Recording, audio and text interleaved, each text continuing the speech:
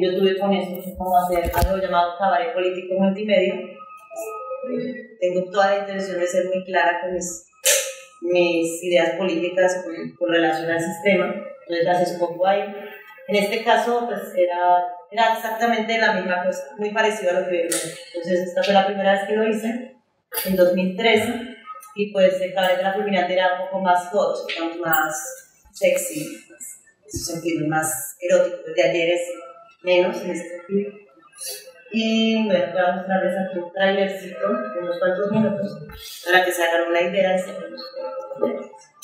Más o menos, ya en este momento, pues yo llevo más o menos 10, 11 años, 10 años, 11, 9 años haciendo cabaret político. Hice también laboratorios, he inventado algún tipo de técnica también para socializar con distintos tipos de grupos de personas con las que también hemos creado colectivamente eh, pues, este tipo de cosas como escénicas, escénicas. Y vamos a hablar ahora de la organización. Entonces, vamos a buscar.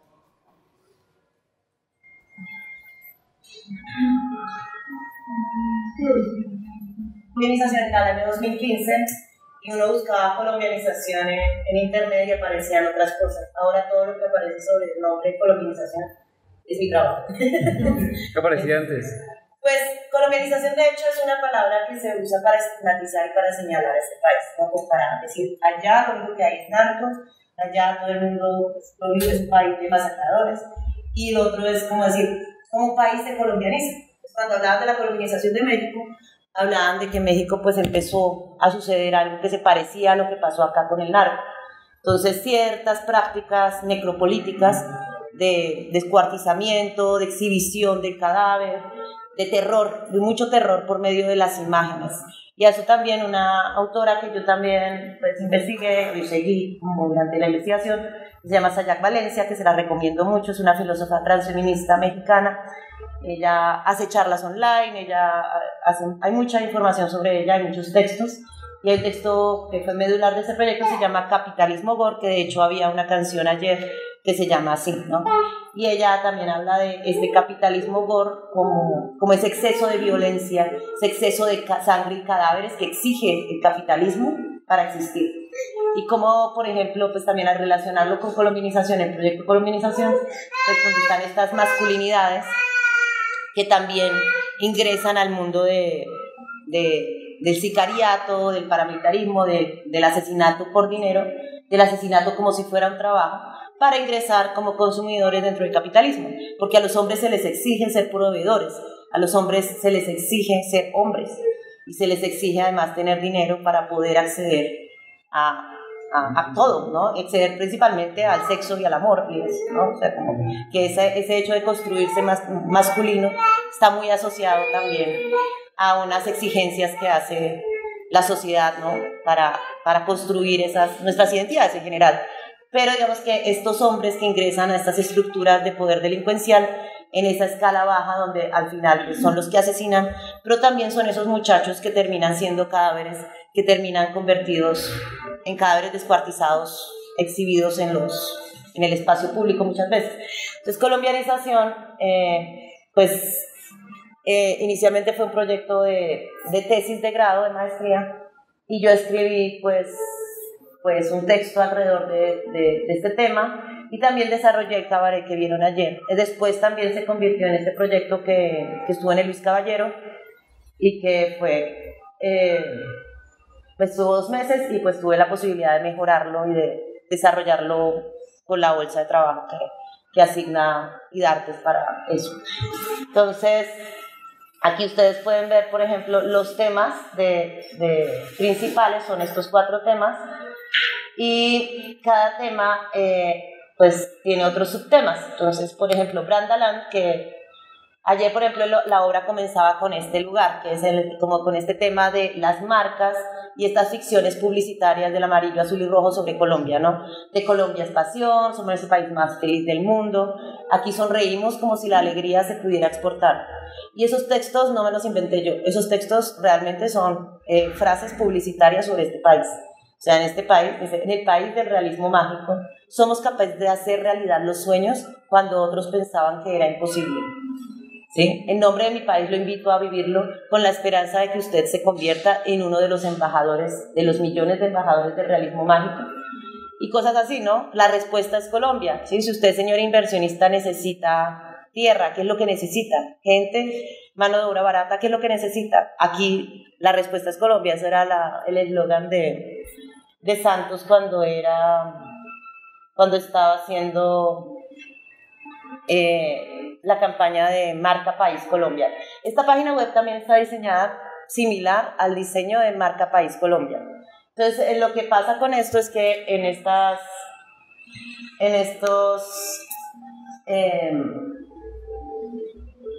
en ese proyecto publicitario que empezó con, digamos, con la, con Juan Valdés, ¿no? Y, que era como un país cafetero, ¿no? Después pasa Colombia es Pasión, que fue en la época de Uribe, que fue el que empezó con esta insistencia en, en crear esos imaginarios.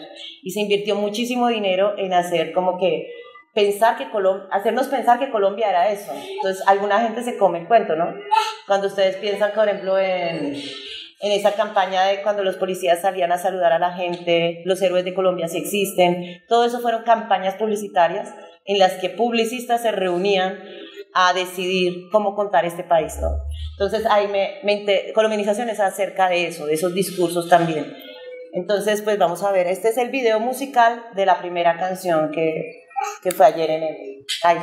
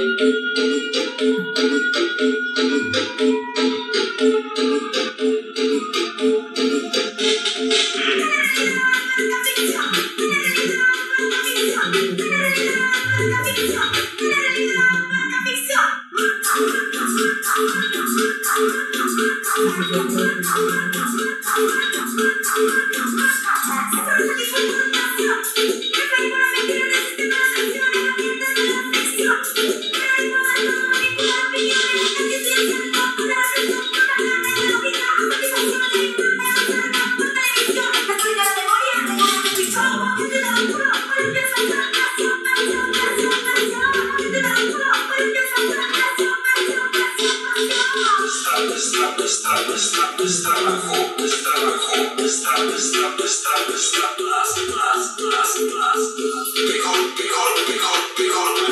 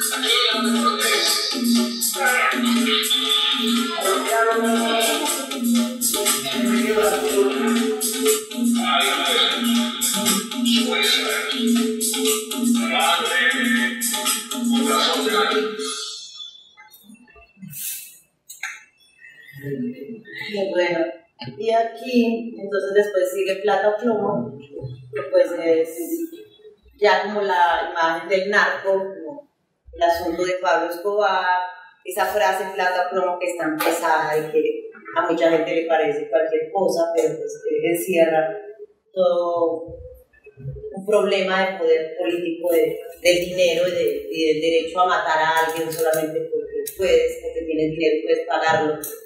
Y este es otro de los espacios, ¿no? Como las marcas, después Plata Plomo es como otra idea como de, de estas ficciones publicitarias, pensar que Pablo Escobar, por ejemplo, es una marca. El otro video de narcopalabras también lo vieron ayer, ¿no? Donde está todo este asunto de como los prefijos, narco como un prefijo que después se vuelve cualquier cosa, narco casa, narco perro, narco tienda, narco terreno, narco cosa. Después sigue la gente de bien, que pues de alguna manera apareció ya al final, final, y fue durante el proceso final del proyecto, que es cuando pasa lo del estallido social el año pasado y toda esta situación en Cali. Entonces vamos a ver este video que, pues tiene como, como que ayer vimos como la, la acción por la pintura gris, pero esta pues ya fue el video hecho en espacio público. Estos videos fueron proyectados como en el espacio de la Galería Santa Fe también, con una gran bioinstalación que se podía recorrer, donde había sensores de sonido para activar pues, diferencialmente los sonidos de cada, de cada video. Y. Sí. Vamos a ver esto. Salen algunas imágenes reales. Formas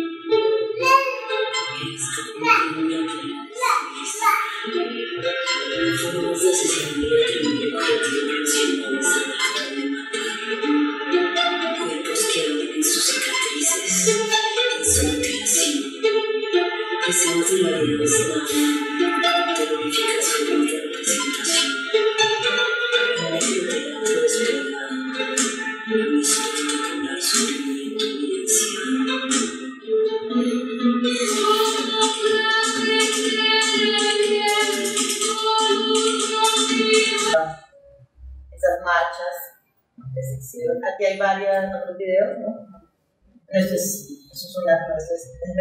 Vega, artista capitalismo Go.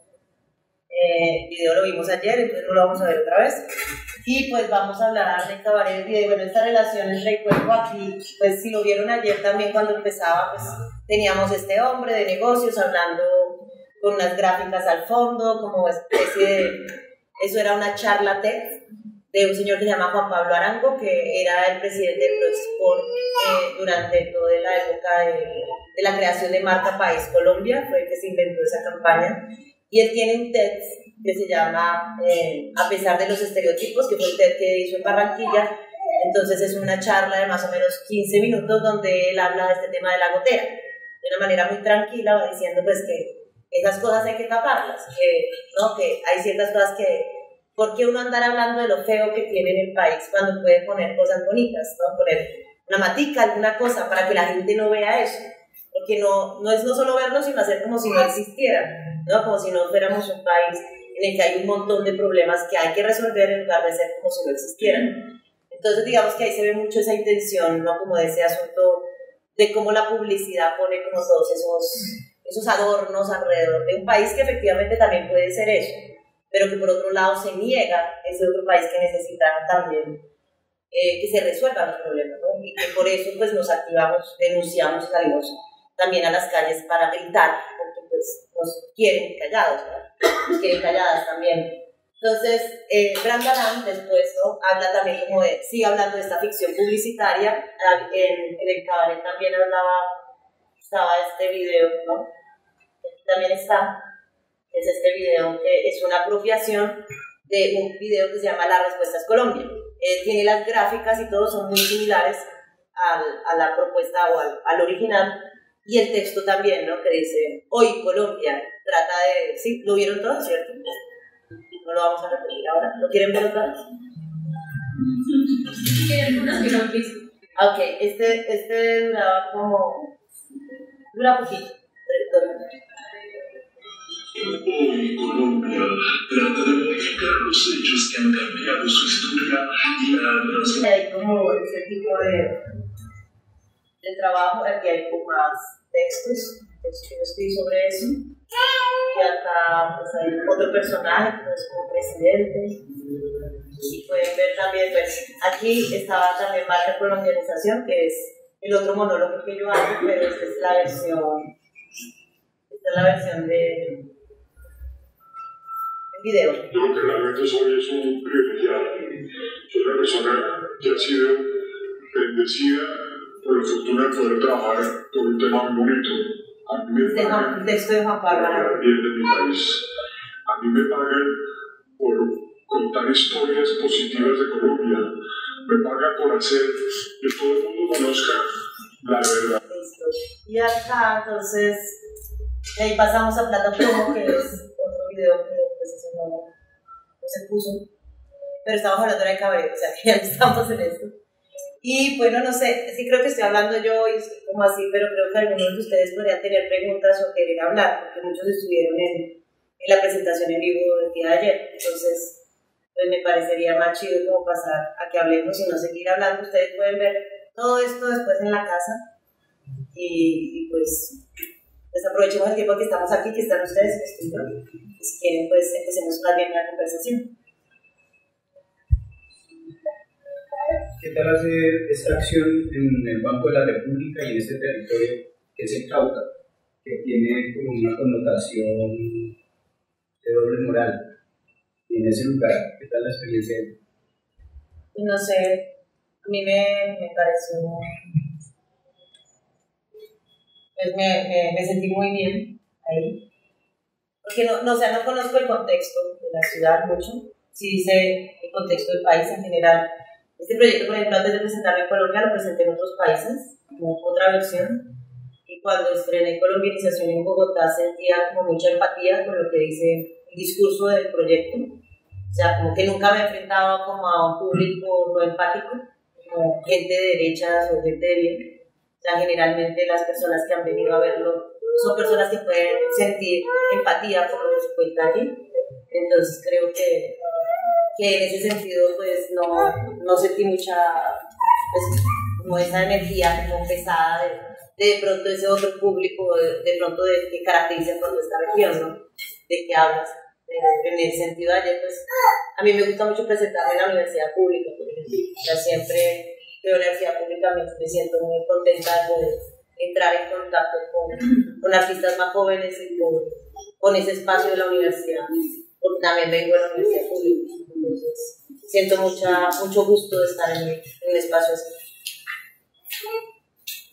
Eh, yo, Yo quería preguntarte un poco cómo, cómo que representa para ti o qué significa para ti como performer, como persona que trabaja desde el cuerpo, hablar de, de este tipo de temas que son como, que yo ayer veía Cabaret y decía como, pues, o sea, que tienes la cara del vive presente, como un montón de signos. ¿Qué ha representado para ti toda la construcción de este trabajo, sabiendo que es un tema súper álgido, sabiendo que venimos de un momento de lucha que fue el paro del año pasado, y a ti como artista, como cuerpo, ¿qué ha significado todo eso y representa? No sé si en algún momento ha habido miedo, ha habido repercusión, ha habido persecución, Pues yo llevo muchos años como trabajando insistentemente en, este, en esta línea, ¿no? Como pensando que es necesario, que es importante. Yo siento que en un momento estuve un poco enferma y que alguien me preguntaba alguna vez que si había estado con depresión o algo así, entonces, o sea, yo decía no a mí, pero después me di cuenta que sí. O sea, tuve unos, un- unos tiempos en los que ni salía, ni, o sea, andaba muy encerrada. Yo creo que tiene pronto relación con el hecho de estar investigando tanto y estar encerrada leyendo ciertas cosas y viendo ciertas cosas. que de alguna manera eso se me estaba afectando psicológicamente. Y creo que cuando salió la expo y cuando cada vez que hago el performance pasa algo que es muy potente para mí, que es la posibilidad de, de soltar eso. Porque cuando uno está como cargando todo eso ahí y no hace nada y se siente como más bien impotente o, o quieta, pues está acumulando. ¿no? En cambio, cuando uno se sube a la tarima y lo suelta, algo sucede, sucede entre, entre, entre todos los que estamos ahí de alguna manera, ¿no? Porque siento que es algo que conmueve, algo que entra muy profundo, pero al mismo tiempo es algo que yo estoy votando con, con fuerza y que a mí me, pues, eh, emocionalmente me hace sentir bien, o sea, mejor como poderlo soltar. O sea, de hecho, como que más, estuve en muy malos momentos en algunos momentos muy mal durante el proceso de, de creación o de hacer, ¿no? Como la, cuando uno está leyendo, cuando uno está investigando, uno está escribiendo, porque a la larga es un archivo gigantesco. O sea, lo que llega acá es un, una pequeña parte de una cantidad de imágenes enormes, ¿no? de, de muchas fuentes, ¿no? Y pues el asunto como de, de performarlo y, poner el cuerpo para que eso tome una presencia, a mí me resulta muy liberador. Más que, y, me, y es una intención, ¿no? O sea, a mí me parece importante y es la función de mi trabajo, digamos, de mi vida. O sea, yo me dedico a eso. Es mi, mi vida, hacer arte y hacer ese tipo de cosas, no hago otra cosa. Entonces, pues digamos que es muy afortunado, pues, como lograr poner y que eso resuene. Y que sí, efectivamente, porque a la larga, pues, estamos en una, en una lucha muy desigual. Digamos que ahorita tenemos otro gobierno y esperemos que qué pasa, ¿no? pero venimos de años y años y años de silenciamiento, de negación, de que como que no pasaban las cosas que pasaban, como que simplemente era como póngale pinturita y haga como no, ¿no? Entonces ahora, ahorita estamos en otro momento y vamos a ver qué pasa.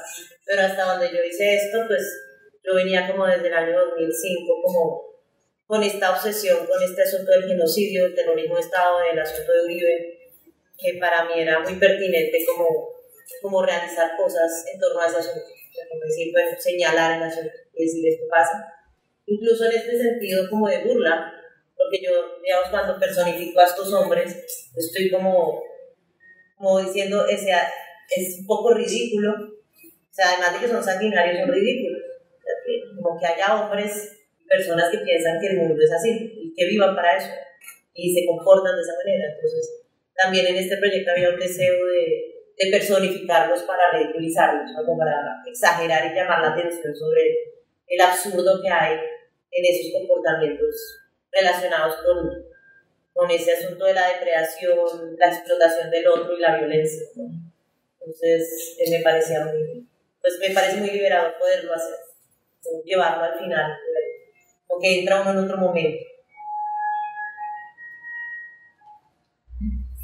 Dos preguntas para lo que decía el compañero ahí. Eh, ¿Has tenido de pronto alguna repercusión con esas propuestas? O sea, un tipo de, amenazas o, o de censura desde la práctica del arte? Yo creo que en el espacio del arte sí, la, pues como que a uno no lo invitan a ciertos espacios, se hacen como si no existiera, pero pues para eso tenemos herramientas para movernos, ¿no? Pero, pero sí sucede, ¿no? Un poco. Yo lo siento que es, no, como hay censura, pues más con la fulminante pasó mucho el asunto de la censura. Con esto no, yo creo que este está menos. Pero creo que si los temas hay gente que simplemente no, hace como si yo no existiera, como si mi trabajo no existiera. Pero pues no, nunca me ha pasado nada como amenazas, solo comentarios despectivos y cosas así, pero no, no el lugar de la amenaza, de sentir miedo. A veces he sentido miedo, pero se me pasa, porque hay mucha gente, ¿no? Y uno no sabe quién es que está entrando ahí y uno está ahí, uno no está ni, yo ni veo, o sea, yo tengo el proyector en, la, en los ojos, yo ni veo, o sea, de aquí para acá no veo nada, todo es luz así. Efectivamente, si me lanzan algo o algo me pasa, pues, pues no sé, pero no, no siento que, esté llegando a ese, a ese punto. Creo que no, no, no corro ese riesgo. O sea, siento que hay gente que está poniendo mucho más la piel, el cuerpo y están mucho más en riesgo porque están haciendo cosas mucho más. Los joden más. Y, todo, y el otro lado uno ya tiene un, un nivel de visibilidad de alguna manera también Y la otra es, en el, por lo menos en el proyecto de gente de bien, la composición de la letra la haces tú o, o, la, o la, sacas de la composición musical también, el video, ¿cómo es ese proceso ahí? El proceso de creación de todo fue pues, gracias a la beca de artes de Premio Luis Caballero, que es una nominación de dar una bolsa de trabajo, pues pude tener colaboradores y uno de los principales colaboradores fue Big Clip, que es un DJ y productor de reggaetón y de música urbana de Medellín, barraquillero de Medellín y Bogotá. Y con él pues eh, hicimos el proceso de creación de las canciones juntos. Y me puso tareas, de alguna manera, no, resumir toda la tesis conceptualmente en pocas frases, en pocas palabras. y después a partir de eso él, él decidió los ritmos que iban a ajustarse a cada tema. Entonces, por ejemplo, un Andalán es un dembow, eh, Gente de Bien, creo que es un reggaetón, eh, Capitalismo Gore es un trap y Brandalán es otro reggaetón. Plata Plomo fue otra canción, de pronto la ponemos ahorita, pero esa la hice con otro productor y mucho más rápido. O sea, es como, esa suena más como rap reggaetón, pero no está tan bien lograda, porque es que es, es realmente virtuoso. Y él, pues ya después de que yo hacía las rimas, porque yo escribo muy, muy plano, como estas rimas que son como, bueno, fraseos, ¿no? Fraseos, fraseos. Yo escribo así. Y la primera, la primera parte es el como fraseos y coros, ¿no? Y después él traduce eso a los ritmos. Entonces lo que él hizo fue hacer un, trabajo de traducción, o sea, es, significa como, como ajustar las palabras y los fraseos al concepto musical y generar como, como las partes que tiene la canción, ¿no? Entonces, un coro, un, coro más pequeño, unas frases que están habladas, cosas así, como la estructura, pues ya la, la definimos pues sentados, ¿no? aquí más o menos esto, aquí vamos sacando las palabras. Fue un trabajo más o menos de, de cuatro días muy intensos y ya después él desarrolló toda la música en su estudio y ya grabamos la música, pero fue, fue una colaboración muy muy intensa y, y, pues muy afortunada que espero que, que podamos seguir. Pues, me gustó mucho trabajar con él. Y la persona que me ayudó con los videos se llama Raúl Vidales, que es un compa también con el que he trabajado durante muchos años, que hemos hecho varios proyectos y que siempre me ha apoyado mucho. Y fue pues, más o menos la, el proceso también fue muy rápido, muchos amigos y amigas pues, también poniendo la cuerpa y pues sesiones muy rápidas de grabación de tres cuatro horas y ya, sale. Y pues yo dirijo, hice la dirección la producción y Raúl hizo la realización audiovisual, pues es como hacer la dirección de fotografía y la edición. Y pues ya, eso menos así. María, eh, quisiera preguntarte varias cosas. La primera, ¿cómo es la recepción, digamos, de la producción artística colombiana a nivel internacional que tiene ese enfoque de la violencia, o que tiene una, una búsqueda de representación de la imagen de la violencia, cómo es la mirada en el exterior. No entiendo. O sea, ¿cómo, ¿cómo se recepciona tipos de trabajos como los que usted hace y otros artistas de una relación a la violencia, al conflicto? ¿Cómo la gente lo recepciona a nivel internacional, en el que has estado? ¿Sí? Pues depende, por ejemplo, yo tengo varias, o sea, uno de mis asuntos es el arte pues como de conflicto, que es lo que más me interesa. Eh, pues no sé, depende del espacio. O hay gente que no sabe ni, lo que, ni que este país existe. O sea, cuando uno sale del país, también se, se entera mucho de eso, porque ni siquiera conocen el nombre ya. Entonces, cuando saben un poco más, pues se informan. Mucha gente blanca no sabe ni siquiera que son que lo que el sistema y el nivel de vida que ellos tienen se debe a toda la depredación que hay o sea, no, no hacen la relación, no entienden nada. Por otro lado, pues sí, como mi trabajo se divide como en, distintas partes, ¿no? O sea, este trabajo, por ejemplo, con la investigación yo fui a Europa, ¿no? ¿Y en qué condiciones fui? Fui a espacios pues, que conseguí con amigos, con amigas, espacios pequeños donde pues viene gente informada, vienen muchos colombianos, mucha gente que está incluso en el exilio por razones políticas y agradecen mucho que se haga eso, o sea, que se hable de eso de esa manera en, en donde sea, o sea, cada vez que, que, se puede. Porque mucho de lo que viaja al exterior desde Colombia yo creo que son cosas que no, no incomodan tanto, son casi como, no sé, como que depende quién, el espacio y quién sea el que lo gestiona, ¿no? O sea, si es el gobierno de Santos, si es el gobierno de Uribe, si es la embajada de no sé qué. Yo realmente he viajado en condiciones muy como autónomas autogestionadas. Entonces, los espacios en los que me he presentado pues son usualmente espacios queer, espacios feministas y espacios de lucha social. O sea, personas que están, digamos, un poco informadas de eso. O sea, que no es como ir a presentarse en un teatro donde entraron mil personas, ¿no? Entran 50, entran 20. Entonces, y son usualmente personas empáticas, personas que ya tienen algún tipo de relación con eso. Y cuando no, pues la gente queda aterrada, ¿no? Porque qué gran performance, qué impresión, nunca han visto cosas así. O sea, como, nunca he visto algo así. ¿No? Te pueden decir así las personas. Casi como, como que, que se, se, se, les mete muy adentro lo que ven, o sea, se conmueven mucho también. Y la otra pregunta que no he estado acá, la tengo desde anoche, después del teléfono. Es que uno, digamos, estudiando, digamos, el cuerpo anal, el mar, y esto pues que, por decir algún sentido, uno entiende que hay un cuestionamiento, digamos, una narrativa, digamos, arco y todo lo que conoces ahí, pero hasta qué punto, eh, digamos, el trabajo, eh, digamos, crítico que está haciendo frente a una narrativa no termina reproduciendo también el mismo concepto, es decir, como, como que está cuestionando lo narco o lo, lo, lo política, y cuando yo sentía, bueno, es que vamos a hablar del sentir, cuando yo vi el performance, eh, yo lo que sentía es como, como si estuvieran esperando la sangre en la cara. O sea, eso, digamos, para colocar una imagen, ¿no? Entonces, me pensaba, me, me, me pensaba y sentía muchas cosas dentro y decía, o sea, me sentía mal. ¿Sí me entendés? O sea, como que no has estudiado el arte, no se preocupa por situaciones sociales, y uno dice, eh, definitivamente yo no, yo no deseo, bajo ninguna circunstancia en la vida mi ser, que experimente una gestación de ese orden que pasa pues como en, en, Colombia, pero, pero sentía como que sabemos que pasa eso, ahora te estás restregando en la cara el dolor, ¿no? Era como una sensación de tipo. ¿Sí? Entonces no sé hasta qué punto puede ser que esté equivocado, termina uno digamos, reproduciendo el acto de la violencia, exacerbándolo.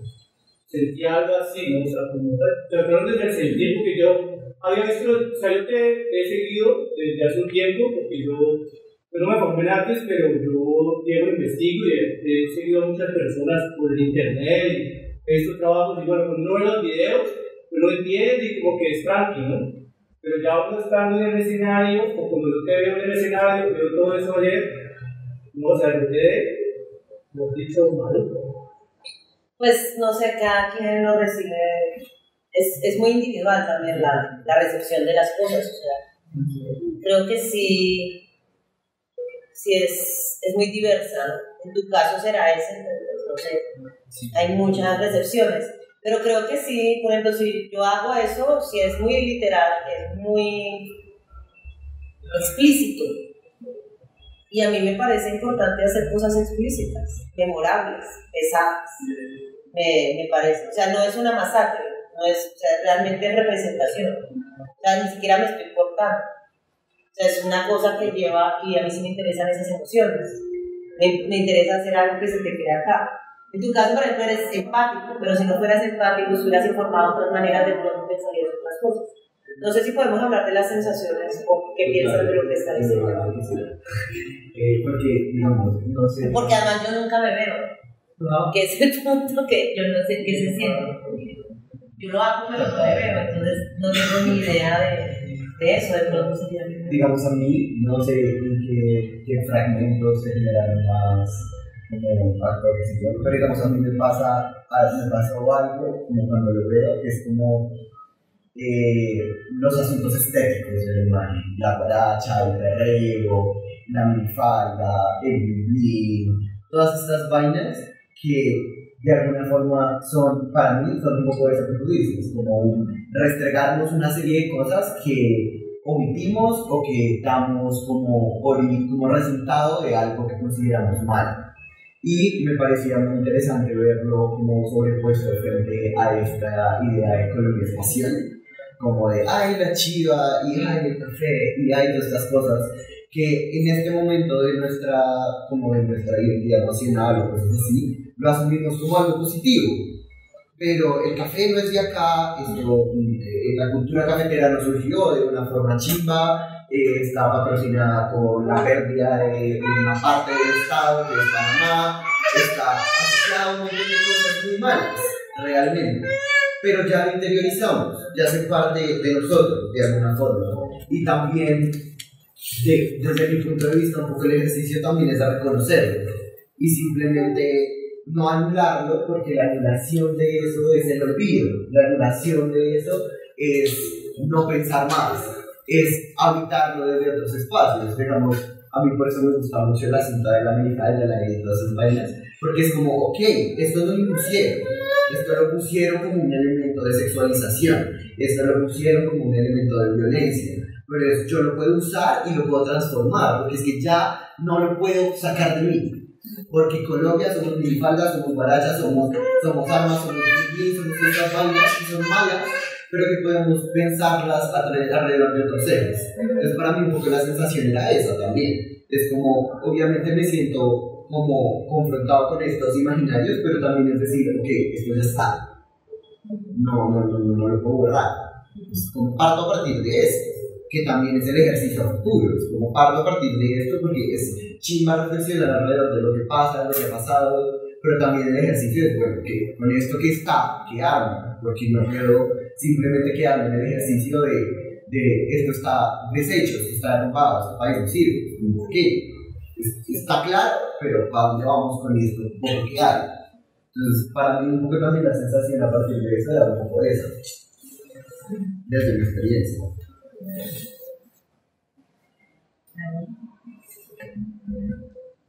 un personaje como muy significativo que se cambió la temperatura de las narrativas que llevaba así es el de la bolsa con las bombas y, el, y, el, y el uso de esas herramientas para significar eso me pareció muy bueno. En algún momento llegué a pensar que, que iba a agredir al público, iba a chistear, o sea, como esa historia de los pero ese, ese elemento que aisló y que de paso te ahogaba más de la cuenta, le daba como una sensación más de, de terror a la situación. Ese personaje me, me causó mucha retención en la memoria. Además que yo estaba tomando fotografía de todos los personajes y ese fue muy especial. Fue difícil retratar porque había como interferencia entre tu rostro y la cámara, que eran las notas yo creo que mí también me parece interesante el cambio de tono, porque siento que es lo que digamos, a mí personalmente es lo que me permite hacer el ejercicio, porque siento que a veces uno está, tiene precisamente, o el, el ejercicio de como yo lo entendí, eh, que es como, digamos, como que a veces uno tiene súper interiorizado las dinámicas, entonces como vemos al comienzo todas estas como contraposiciones entre la forma en la que estás mostrando las cosas y el mensaje de las cosas, que a veces es muy difícil sentirse, porque es como, ah, sí, y después lees allá y dices, ay, está chévere. Sí, sí, sí, Y entonces después está esto otro que lo hace volver al otro plano, y es, ok, siéntete mal, porque es de lo gozaste. entonces es un poco también todos esos ejercicios de sensación que me parecen interesantes. Sí, ahí pasa con el cuerpo algo que me, me parece, pues que esto es un trabajo de arte, ¿no? Una investigación, una puesta en escena, o sea, es un trabajo con una intención ¿no? escénica. No es que yo salía a hacer cualquier cosa, o sea, efectivamente está muy claro que, que hay como muy específicamente cosas que suceden a lo largo. ¿no? Y hay una cosa que pasa con el cuerpo ahí que, que a mí me, llama, pues, me parece interesante también comentarles, que es como como a veces el cuerpo es percibido desde ese lugar ficcional. O sea, el, señor que aparece al comienzo, totalmente vestido, uno estoy haciendo que es este Juan Pablo Arango, con todas estas animaciones o, o, estos videos donde está pues como bailando, toda esta ficción publicitaria sobre este país. Es una ficción muy audiovisual, es una ficción que de pronto estas personas ni existen. O sea, son personas como, como creadas para vender unas ideas sobre este país. ¿no? Incluso el Broly Banderas, que después aparece, que fue como también, es un chico de México que existió y yo tomé un texto de él y lo adapté y lo, lo cambié, ¿no? todos estos discursos, como tomar discursos y, y reescribirlos para develar cosas que están debajo, ¿no? Pero sigue siendo también como una interpretación como robótica, como esta persona que está automatizada obedeciendo una idea sobre sí mismo, que es esta construcción de masculinidad Triaga, ¿no? que es nuestra masculinidad de, de, yo soy el chacho porque mato, porque trabajo y mi trabajo es matar, y a mí que me importa, ¿no? y que a veces no, ni siquiera se revela eso. A mí me parecía interesante como ese muchacho que, está ahí y que está viviendo para matar y está muriendo por eso, ¿no? y que están cayendo tantos jóvenes en este país. Sí, y están al servicio de un poder, que es ese poder del comienzo, que es ese poder del inversionista, del que va a mover grandes cantidades de dinero para modificar el futuro de todos nosotros, ¿no? Y ese genocidio que pues era el asunto del comienzo que aparece como una palabra, un libro, pero que a la larga hay una, al comienzo aparece todo como muy limpio, mucho video, ¿no? Entonces, por ejemplo, en el momento de la sangre, que es este momento donde aparece el, el video de la masacre del Salado, que también habla sobre masculinidad, porque habla de este muchacho que era el galán del pueblo, que habla este, este chico que habla de que era el que todos querían ser.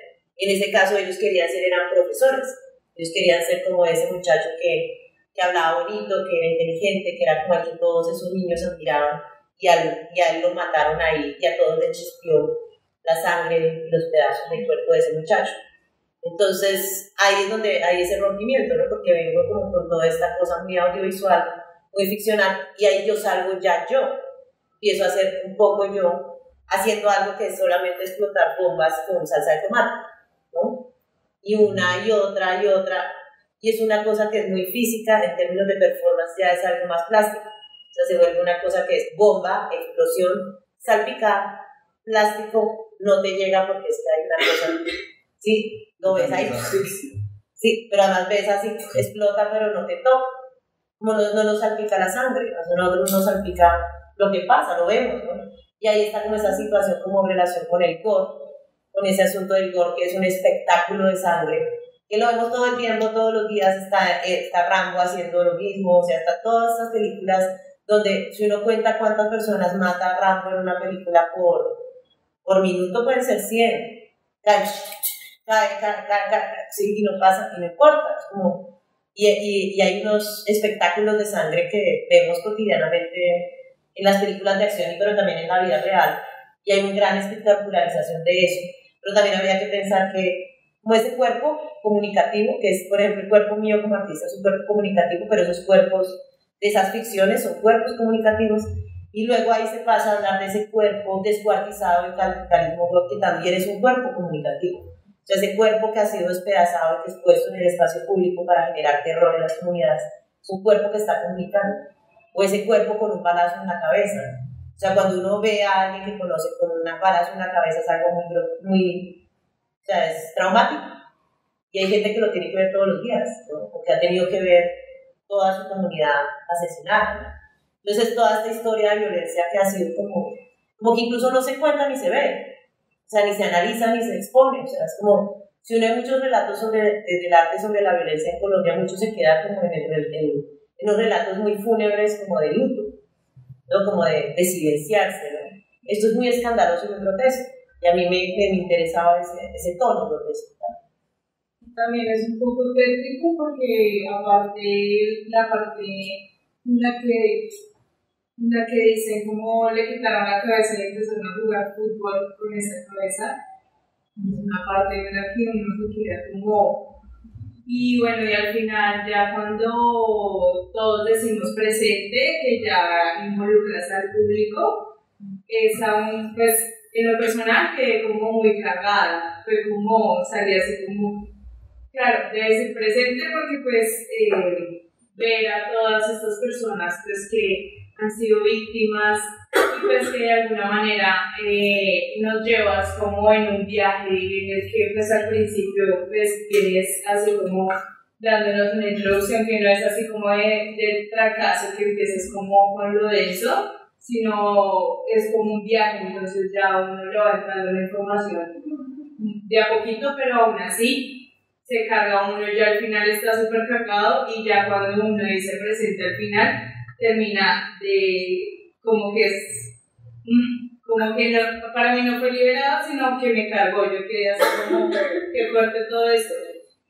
Pero al final y al cabo esa es la realidad esa es la realidad y esa es la manera en cómo eh, termina siendo todo esto que pasa eh, que al final nos, es, es, las personas que hacemos arte y que buscamos también liberar y que la gente entienda desde otros lugares lo que significa, eh, tanto como su crudeza, porque eso es como lo que más me gustó, como que no tiene que maquillarse, no tiene que maquillarse la masa, que no tiene que ser eh, algo que eh, tenga que ser, ser, algo suave de decir o algo así, sino que me gustó eso, pues, que al final termina siendo algo muy, muy fuerte para todos.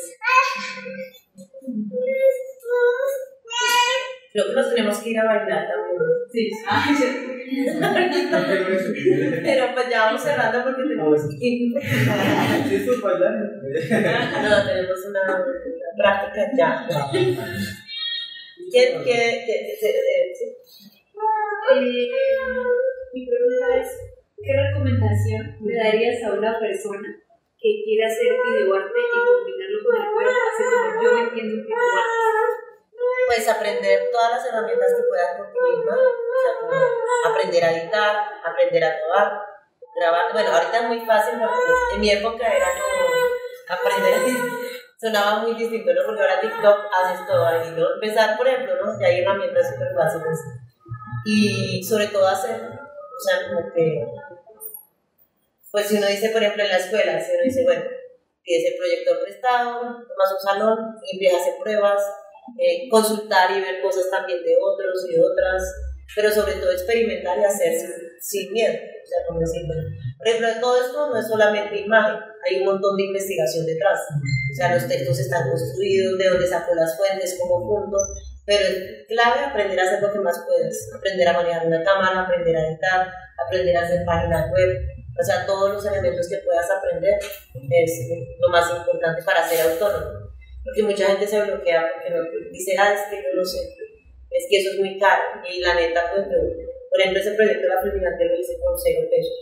Y este también fue como, hasta ahorita le llegó dinero, pero pues también. Y la otra es juntarse con otros y hacer el colectivo, que es algo que hacen ahora las personas más jóvenes, son tan individualistas. O sea, yo solo he trabajado muy casi siempre sola, pero también uno puede armar colectivos y juntar habilidades para hacer cosas y motivarse juntas, ¿no? Entonces eso también podría ser otra, no es mi práctica sí, pero lo, lo veo y creo que, que también es un camino que funciona como juntar habilidades, conocimientos y motivarse mutuamente para hacer esto. ¿Cómo ha sido tu proceso de investigación y de generar archivos? La investigación ha sido solo digital o también para reunir directamente con las personas, con las víctimas. Pues ha sido más que todo, pues práctica en la vida, muchas cosas que vienen de, de lo que yo he sido en mi vida, o sea, pues, mis relaciones de vida, de, de la vida real, de mi vida misma. Y por otro lado, son muchas cosas que. Afortunadamente, pues eso en este siglo es muy fácil investigar. Siglo pasado había que ir a la biblioteca y era más duro. y la, la información era mucho más vetada, pero pues en internet hay tanta cosa, ¿no? Y yo como trabajo a partir de archivos de noticieros, de, de sí, sobre todo noticieros, cine, tal. Y luego hago mucho o sea, yo trabajo, si, si quieren les muestro el archivo, pero mi archivo, y eso que esto es solo una parte, les voy a mostrar así para que se hagan, ya que estamos hablando de eso. Esta es una copia de solo una parte. Este es el archivo, es un archivo. Esto es una carpeta. Una. una carpeta. O sea, de esto se. Esto estos son fotos. Pero el archivo, por ejemplo, tiene robot para. Estos son los videos sin editar. Entonces también hay que organizar su archivo. Uno también tiene que ser, por ejemplo, eso es un archivo que está muy ya caótico porque pues al final cuando uno ya tiene los finales eh, termina siendo eh, Popeye, por ejemplo. Entonces aquí, estos, este es solo uno, este es otro. Esto ya fue lo otro que yo hice. Todo esto es un archivo gigante. Entonces trabajo mucho con, con, con archivos bajados de, de internet, también hago mucho.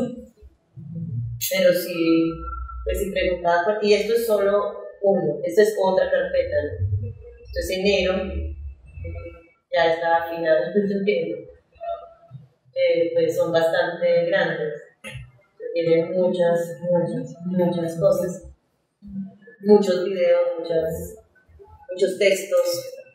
Y pues lo que más hago es investigar, sí lo saco mucho pero-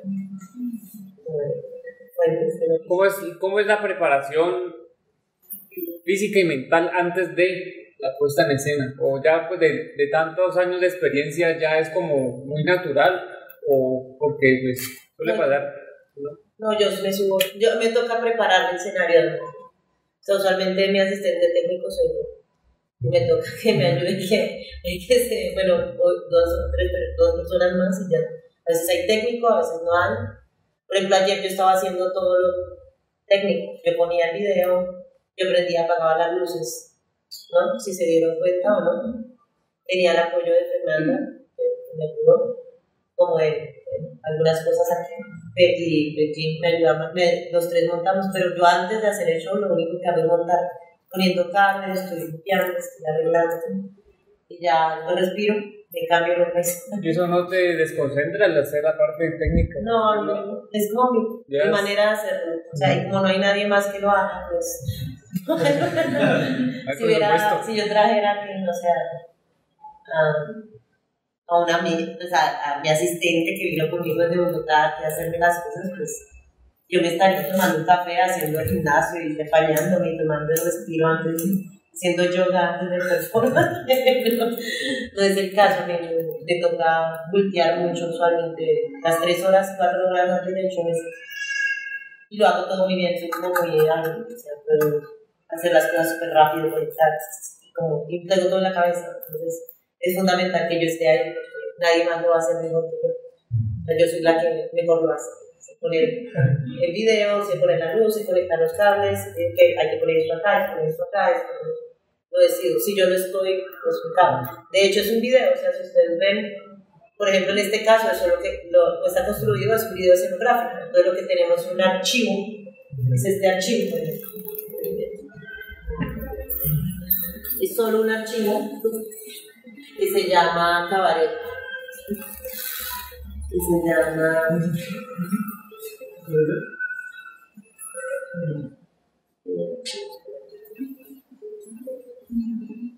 Que se llama cabaret. Bueno, es un solo archivo, entonces se le da play, ¿no? O sea, lo que se hace con, por ejemplo, este, es una versión. Porque este video tiene como 100 versiones.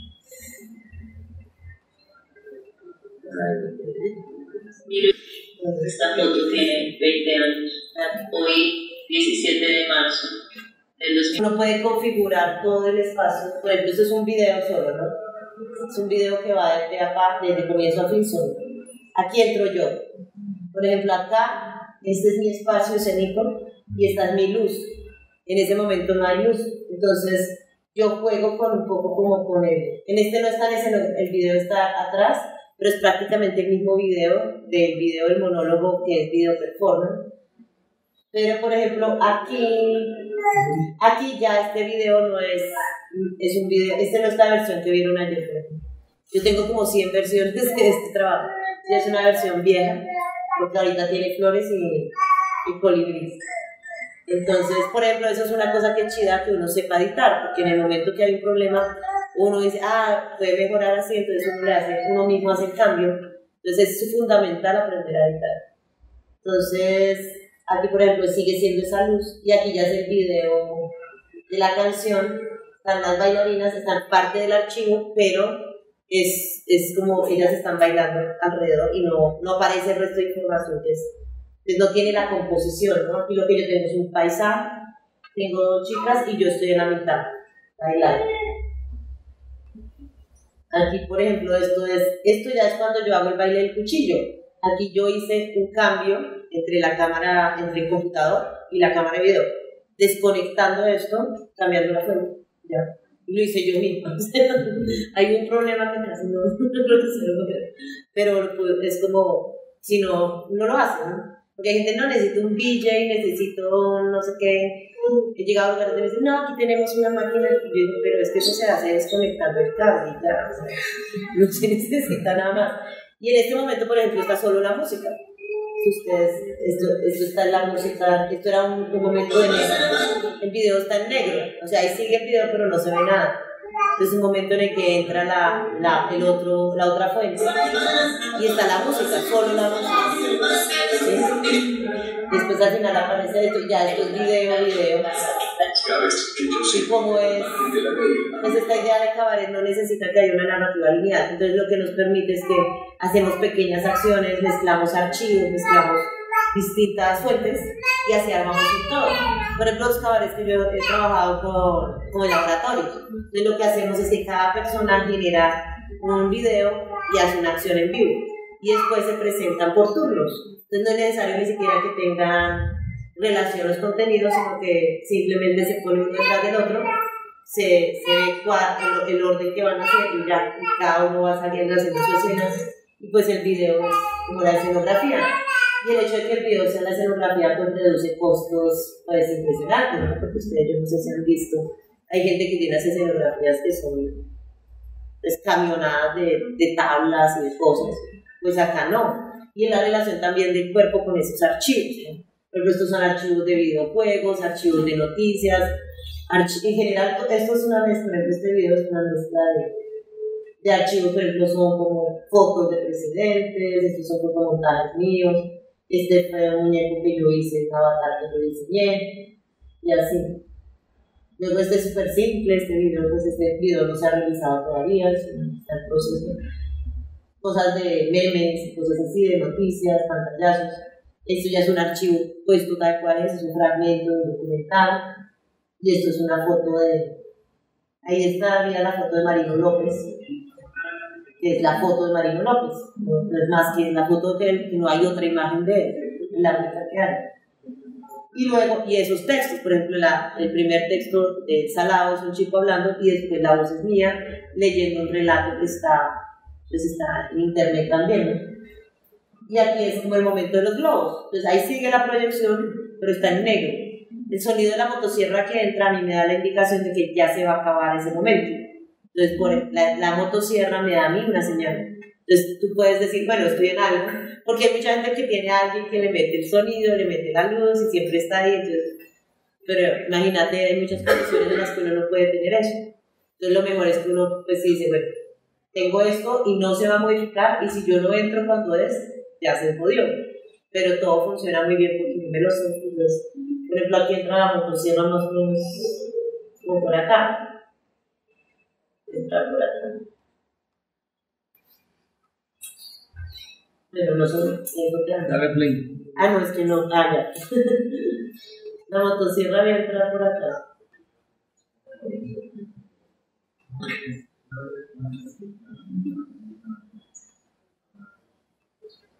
¿Sí? Ahí. Yo estoy con los globos, estoy con toda la sangre en la cara, no veo nada. Pero cuando entra ese audio, yo ya sé que yo tengo que terminar con todos los globos, subirme a la tarima y sacar la voz. O sea, porque yo si no, no voy a alcanzar a entrar. Antes, por ejemplo, esto no tenía el video musical, solamente tenía el texto. Entonces yo hacía la acción de cantar. Antes yo cantaba, pero yo dejé de cantar porque subía muy mal. Porque cuando uno no tiene resuelto muy bien resuelto la técnica para meter voz, es mejor que no cante. Tu micrófono, porque va a sonar un... es mejor no usar el micrófono, es mejor que si vas a cantar a capela o a hacer lip pero, pero a veces esas mezclas, si no hay una ecualización buena, se oye terrible y yo lo hice muchas veces. Entonces, por ejemplo, aquí esto, yo lo cambié, si ustedes vieron ayer, ya había el video musical de, de Capital y Gogol estaba ahí, pero antes no aparecía. Pero eso fue un aporte de alguien que me dijo, ay, pero ese video, ¿por qué no lo pones? Porque yo lo mostré también en un conversatorio me dijo, ah, pues deberías ponerlo. Aquí, por ejemplo, es muy simple, solamente es este rectángulo, que es prácticamente lo que queda al final, ¿no? Es un rectángulo que ya es la luz, y ahí es donde yo me hago, y ahí es donde ya es más acción física, porque antes todo este, todos estos videos eran mucho apoyo también para la perfo, la perfo es más como un pedacito de un todo, en cambio aquí ya estoy sola, prácticamente. No, está, ya no hay casi nada más, o sea, de ahí en adelante lo que tenemos es esto. A mí me importan mucho los subtítulos porque me importa que se entienda qué dicen los temas. Siempre le pongo subtítulos en español y en inglés. Y luego está, llega al punto de esto, por ejemplo, esto es un cuadrado y ya, no pan la cabeza. Y aquí ya el final, que es como el texto de la canción para que lo vean. Después, el consejo es que si quieres hacer cosas así, pues es empezar. ¿Te gustaría si también ser capaz de mostrar mi cuerpo de utilizando así como tú haces? O sea, igual decir, pues tú estás sin camisa, que hoy es unas colores cortas. Me gustaría ser capaz de hacer eso, pero me siento muy cobarde. ¿Cuántos años como 25. Bueno, eso poco a poco. Pero primero es como, como que quitarse todos los prejuicios sobre su propio cuerpo, porque le dicen, ah, es que usted si no se ve así, entonces usted no, ¿no? Y, y pues irlo haciendo, irse quitando un poquito, poco a poco. Haber ido a las clases con las, las.